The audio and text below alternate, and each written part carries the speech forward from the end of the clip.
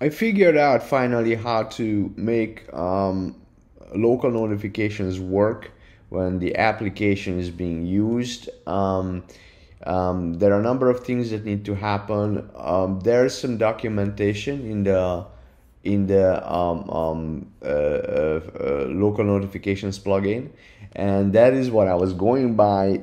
Basically, the the if you guys look at the uh, the the Flutter local notifications plugin, um, it gets you almost all the way, but when it, it gets into um, uh, if you if you search in this document, so this is obviously the plugin documentation for Flutter local notifications, and that's what I I used in other videos when I showed how to make local notifications work.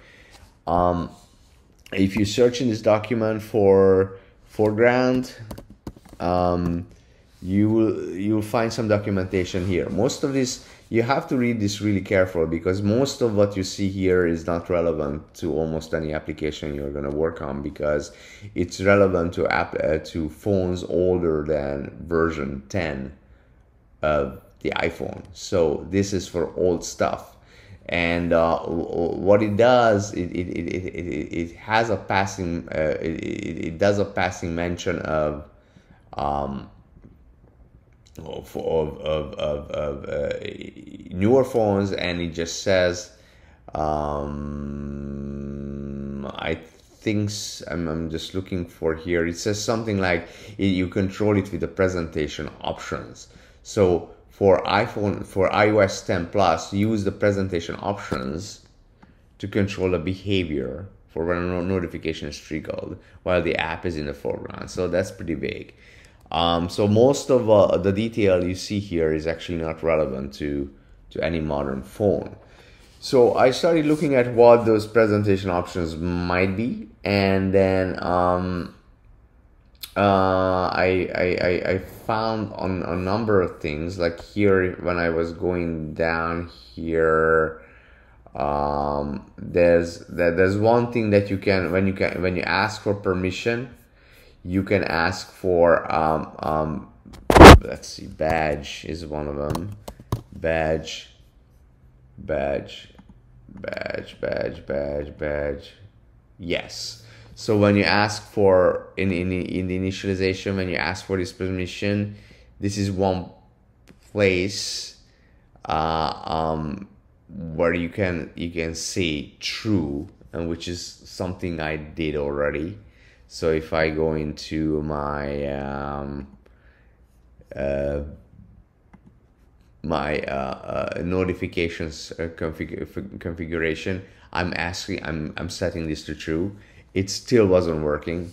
Um, and then I was as I was doing some more digging, and it turns out that the, the key part here, and and uh, Flutter lo uh, local notifications plugin might do some of this um, out of the box. It wasn't doing it for me. So uh, I, I, I was digging deeper what actually makes the difference. And it's the Apple delegate, the, the app delegate, um, sorry, the app delegate Swift file has to be set up properly. And this is a key uh, component here. This, this, uh, so what, what, what this uh, um, um, uh, Swift file has to do it sets the delegate to self like this and this function has to be there has to be implemented. And uh, uh, here I, I, believe this is the, the, the part that that tells the, the environment that you want to get those notifications. And now there's uh, there is mention of there's there's a mention of this um, there's a mention of this in um, if you, if you search for delegate here. App delegate. There's a mention of this that uh, that you need to uh, uh, uh set this up. But um, it just it it, it uh, um, it wasn't enough for me. Let me see if there is yes I, this is what i was looking for so um so he, he, here's that mention, but this didn't do it for me. I had to do it like um, I had to do it like what I showed, um, which is implementing that function.